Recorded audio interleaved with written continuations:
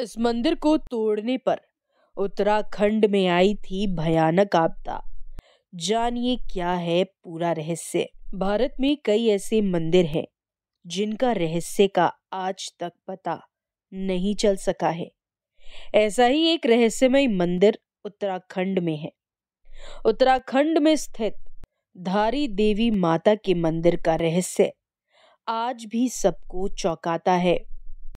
मान्यता है कि धारी देवी माता के मंदिर में लगी मूर्ति दिन में तीन बार अपना रूप बदलती है।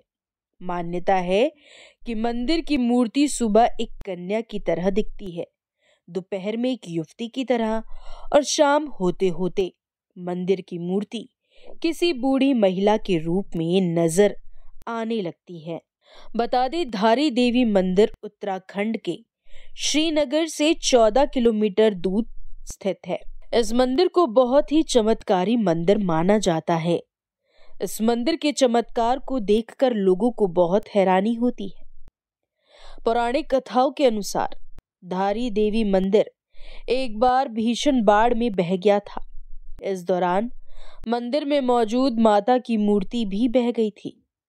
ये मूर्ति धारो गाँव के पास स्थित चट्टान से टकराकर रुक गई थी।